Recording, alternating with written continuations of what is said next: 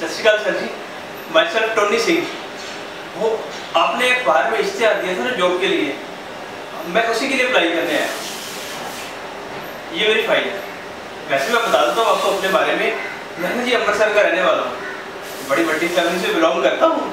Sir जी, मेरे घर में ना मम्मी पापा के अलावा दो भाई, दो बहनें, दादा, दादी, चार चाचे चार चाचे सबके चार चार बच्चे हैं। तो कुल मिला के ना पचास लोग रहते हैं हम घर में बड़ा मज़ा आता है मतलब इतनी बड़ी फैमिली में से ना सबसे ज़्यादा पढ़ा लिखा मैं ही हूँ। सर जी ग्रेजुएशन की है, वो भी अम्बरसर के वर्ल्ड बेस्ट कॉलेज से। सर जी, मम्मी पता क्या कहती है? मम्मी कहती है कि अगर मेरे पास अच्छी जॉब होगी ना तो मेरे लिए अच्छे अच्छे रिश्ते भी आएँगे। पापा जी तो कहते हैं कि अगर एक साल मैंने कहीं पर टिक के जॉब कर ली ना तो मुझे अपने फैमिली बिज़नेस में घुसने देंगे। आपसे ना छोटी सी रिक्वेस्ट है।